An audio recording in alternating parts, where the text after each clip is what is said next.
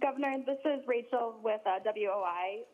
With will the 14-day rolling average used for schools include data from long-term care facilities, and also there are studies coming out showing kids are in fact spreaders of COVID-19, which is different than what you said last week.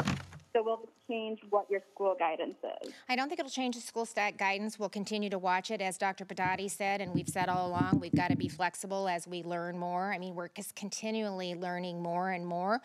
Um, you know, um, household spread, I think, is something that we've said all along. That's where we see, tend to see uh, spread. But, and I don't know what she asked. What did she ask about long-term care? Will that be included in the 14-day average? Yeah, it will, right, Caitlin? Yeah. Rod Boshart last fight.